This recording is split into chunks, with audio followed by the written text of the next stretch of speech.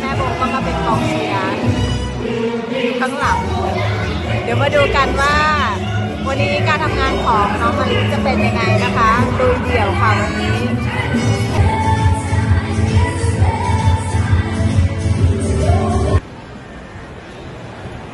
มาแล้ว